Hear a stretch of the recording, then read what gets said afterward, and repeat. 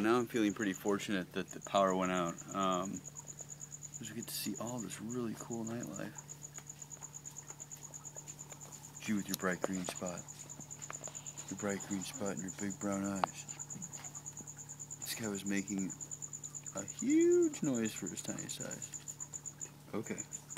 Okay, we'll leave you alone. Have fun. Good luck finding bugs.